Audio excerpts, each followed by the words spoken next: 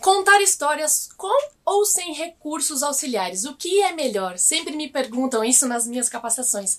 E a dica que eu trouxe aqui para vocês é que vale tudo. Todos os recursos são muito bem-vindos, como por exemplo, os fantoches, eles são muito divertidos. Também temos opções de Música, mesmo que a gente não saiba tocar muito bem o instrumento, um sonzinho sempre é bem-vindo. Também podemos escolher personagens feitos de tecido ou de objetos recicláveis e a própria ambientação é um recurso auxiliar que pode ser muito bem-vindo nas histórias. O que a gente deve tomar cuidado e a dica que eu deixo aqui para hoje é que nem todo bom recurso salva uma boa história. O conteúdo é o que mais importa.